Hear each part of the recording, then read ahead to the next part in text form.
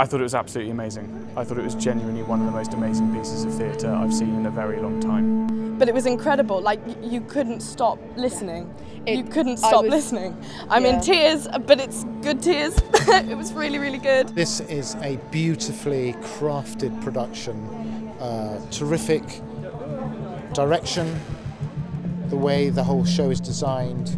It accumulates to a story that really has something to say about right now and about the personal nightmares that are just hanging in the back of our minds that we think, well, that's never going to happen to me. I really loved the show. It was incredible. My friend says it was her top pick of the Fringe, so I trust her, and she's right. It's definitely mine as well. It's really stimulating, you know. Um, that's why I've got this to go and actually reflect on it.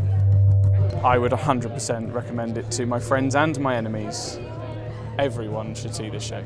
I would absolutely recommend this show. Yeah.